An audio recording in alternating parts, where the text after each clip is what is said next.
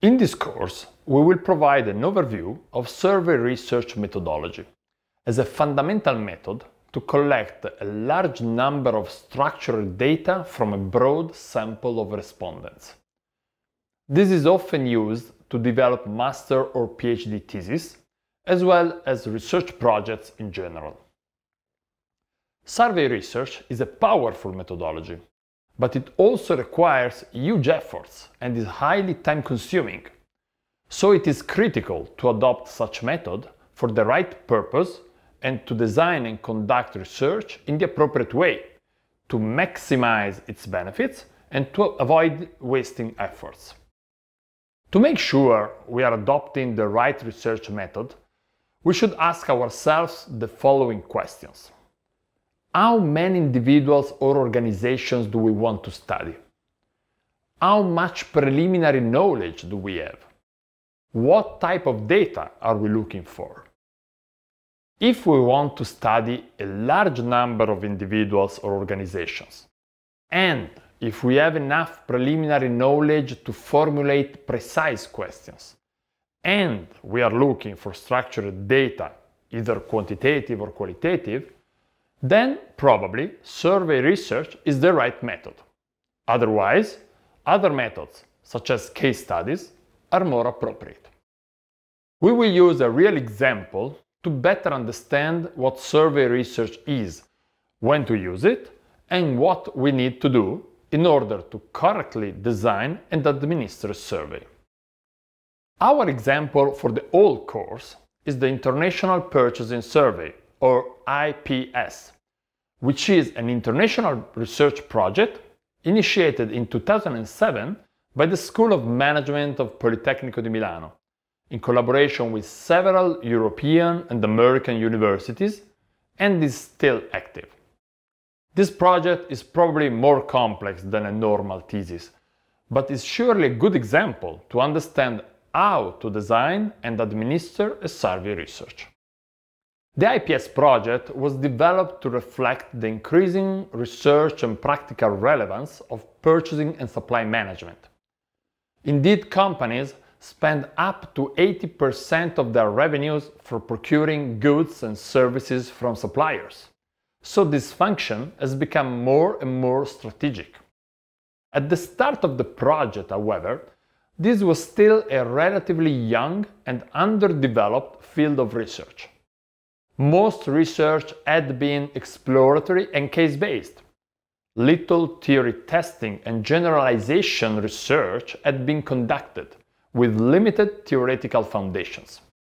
In 2007, an international group of researchers decided to launch a major initiative aimed at developing the field using a large-scale international survey.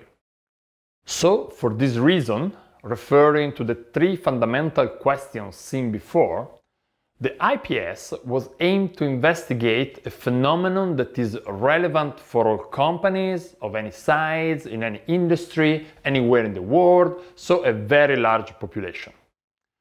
In terms of knowledge, it was possible to leverage on a large number of previous studies to define the main concepts and formulate clear and appropriate questions.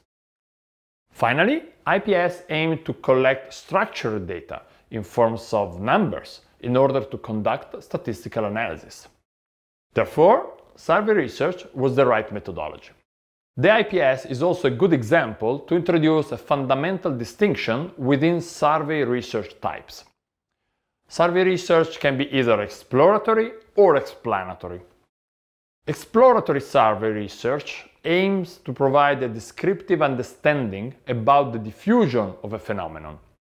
For example, the level of adoption of a new technology, or the ranking of competitive priorities. Such research uh, does not require any preliminary hypothesis, only the possibility to clearly define the concepts.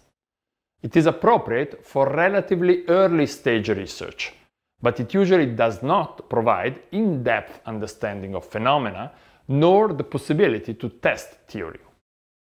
Explanatory survey research instead aims to test relationships between two or more variables, therefore providing explanations for complex phenomena, such as uh, cause-effect relationships and correlations. This is the typical aim of theory testing research and requires a preliminary formulation of hypotheses based on existing knowledge to be tested on a relevant empirical sample. The IPS project is a good example of explanatory survey research, since its aim was indeed to test on a large sample several theories about purchasing and supply management by investigating complex relationships among multiple variables, leveraging on previous research in the field. Another fundamental distinction within survey research is between cross-sectional and longitudinal research. Cross-sectional or panel survey research aims to collect data from a number of different respondents at a single moment in time, to conduct aggregated and comparative analysis on a phenomenon at a certain date. Longitudinal survey research instead aims to collect data at multiple moments in time to observe the development of the phenomenon over time. This usually requires to collect data from the same sample of respondents multiple times, which is challenging for many reasons. It requires a huge effort, it takes a long time, and often only a limited number of respondents are willing to answer multiple times. The IPS project was born as a cross-sectional survey and was subsequently iterated over time, thus becoming a longitudinal project. In the next lessons, we will see how to design and administer a survey research going through all the phases of the project.